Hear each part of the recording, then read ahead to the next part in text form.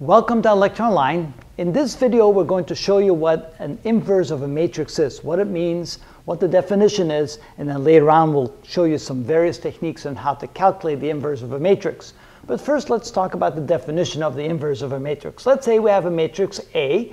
If that's the case, we may have an inverse. Not all matrices have an inverse, by the way, but if there is such a thing as an inverse of a matrix, we write it like this. This is A to the minus 1 means the inverse of the matrix A then if that's the inverse of matrix A, then we can take the original matrix, multiply times its inverse, or in the reversed order, we can multiply the inverse of matrix A times the original matrix, and we should get back the identity matrix. So the order of operation doesn't matter.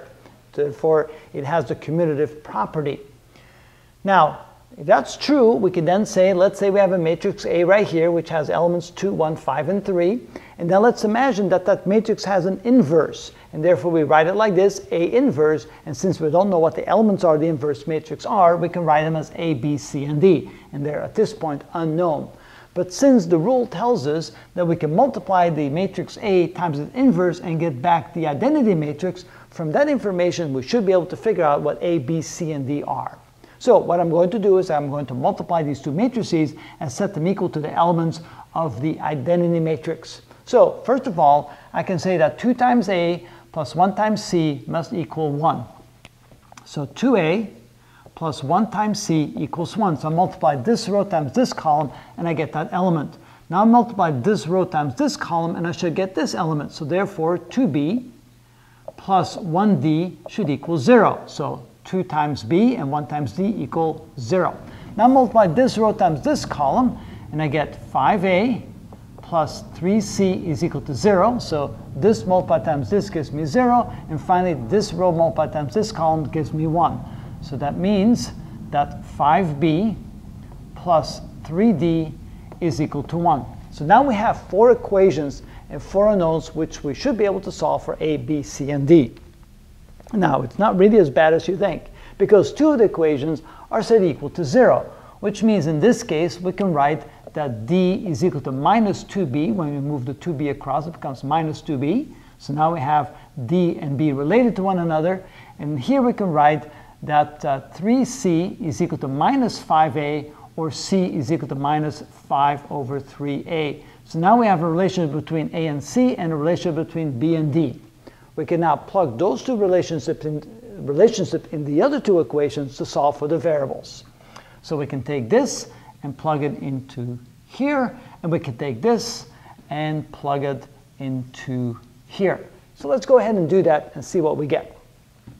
So here we end up with 2a plus 1 times c. Instead of c, I can write minus 5 over 3a is equal to 1. So now I'm going to multiply both sides of the equation by 3. So go ahead, multiply both sides of the equation by 3, and we get 6a minus the 3's cancel out, that would be 5a equals 3 times 1, which is 3. So therefore we have a equals 3. So now we know one of our three, uh, one of our four unknowns. On the other side, I can write 5b plus 3 times, instead of d, I can write minus 2b is equal to 1.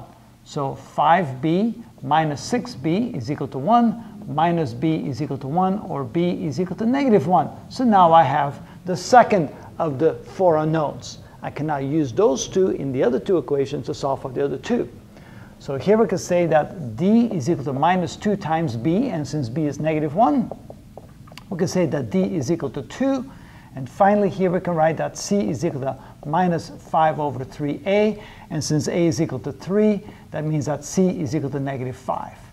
So a equals 3, d equals 2, c equals negative 5, b equals negative 1, which means now I have the elements of my inverse matrix. So a to the negative 1, which is the inverse of a, is equal to a, which is equal to 3, b, which is equal to negative 1, c, which is equal to negative 5, and d, which is equal to 2.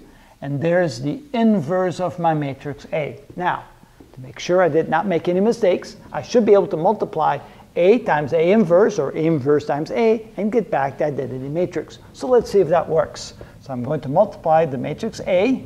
So A multiplied times A inverse should give me back the identity matrix. So 2, 1, 5, and 3 is the A matrix. The identity matrix is 3, negative 1, negative 5, and 2. And let's see what we get. So it's 2 times 3, that's 6.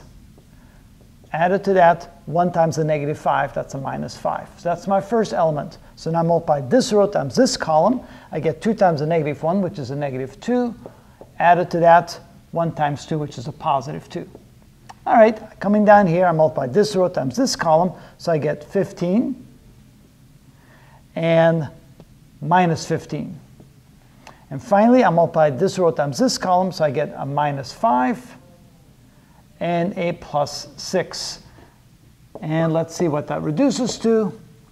So 6 minus 5 is a 1, minus 2 plus 2 is a 0, 15 minus 15 is a 0, and minus 5 plus 6 is a 1, and that's indeed the identity matrix, which means that this indeed is the correct inverse of the matrix A. So that's what we mean by the inverse of a matrix. It's another matrix such that when we multiply the inverse times the original matrix, we get the identity back.